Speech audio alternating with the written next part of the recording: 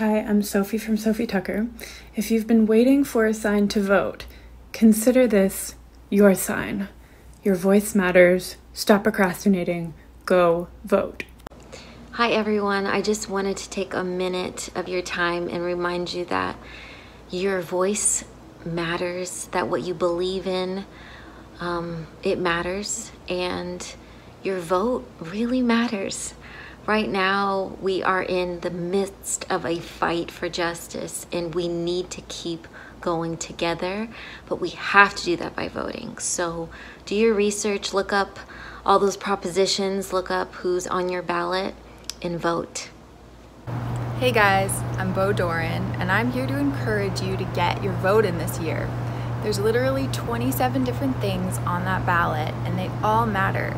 You should spend some time, educate yourself, decide what you believe in, and get your vote in because it counts. Hey guys, it's BELLSAINT. Voting is important because we are a democracy and we need leaders who represent us well. A common tactic of voter suppression is making you feel like your voice and your vote don't matter, but they do. Otherwise, they wouldn't work so hard to suppress it. If you haven't already voted, I would recommend voting in person. It's too late to mail in your ballot, so just drop off your ballot at the nearest official drop-off box. Your voice matters and your vote matters, so please vote. Hey guys, this is my first year voting in the presidential election.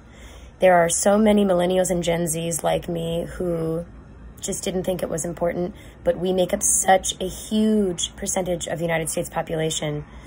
I encourage you to vote this year. More importantly, vote Democrat, save our democracy, put somebody in office who cares about ending systemic racism, ending global warming, and all of the other injustices that are happening right now, and get the narcissistic wannabe dictator out of office. I love you guys. Vote. Hey, it's Elizabeth Woolf, and I'm asking you to vote because I did, and so should you.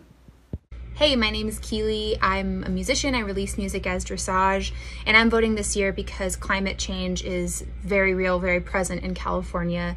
Um, I live right next to a fire that was active for over a month, and I feel that my vote is the only way I can hold politicians accountable and keep special interests out of our government, which are harming the, the planet, harming people. And um, it's really easy to do it. You know, there's so many resources online. So please make sure that you are registered, make your voting plan, and get your vote in early.